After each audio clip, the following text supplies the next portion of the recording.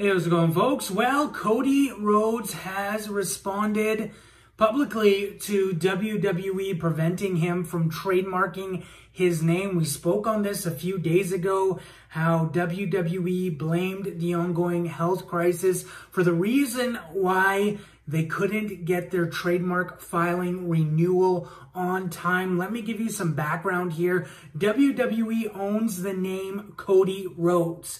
It expired in October of 2019. From there, they had six months basically to refile. And if they did refile in that six months, they would be granted that name and they would be continuing to be able to use it for things like merchandise and things like that.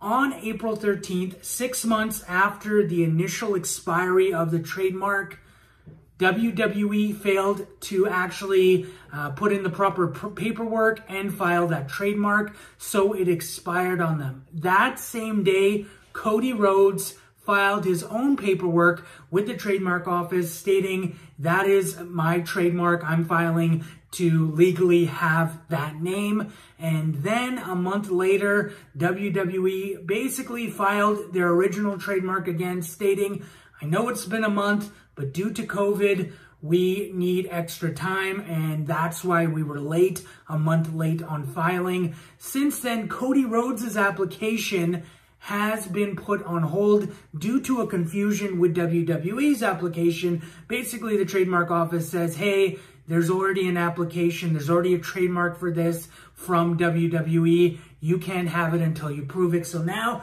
Cody has six months to prove that it's his. And a fan on Twitter asked him about this, and Cody responded in the following. He said, It's not as sultry or scandalous as reported. It's just business. They've seen the same data we have, and they know they can make big money off the brand, even though it's not their house. Trying to license me is flattering, but it doesn't stop this train from moving. No grudge. So from here, uh, at least publicly, Cody isn't too salty about this. Not sure how he feels privately, but WWE does own the name as of right now until Cody can basically prove he's legally able to use it.